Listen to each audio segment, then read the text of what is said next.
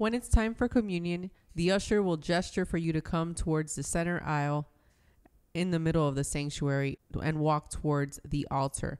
You'll notice that on each side at the center is a hand sanitizing station. Be sure to sanitize your hand before you approach the altar. The ushers will also be keeping this in mind as they slowly indicate for congregants to come to receive the host from the priest. Be sure to make a note of which pew number you are seated in so that after you receive the host for communion, you're able to find your way back. You'll notice in the most recent Sunday where communion was offered within the church that the person sanitized, approached Mother Jackie, and walked towards the exit. Meanwhile, someone behind them was still waiting at the hand sanitizing station before they approached Mother Jackie. We want to be mindful again of maintaining the distance and being sure that we stop to sanitize our hands.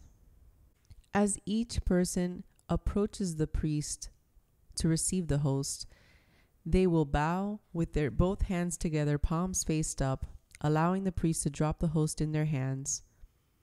Then they're able to walk either to the left or the right, depending on where they're seated, towards the exit doors, making their way up the sides of the sanctuaries alongside the windows.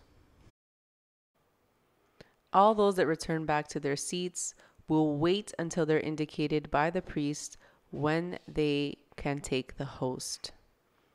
They will hear the following The body of Christ, the bread of heaven. Amen.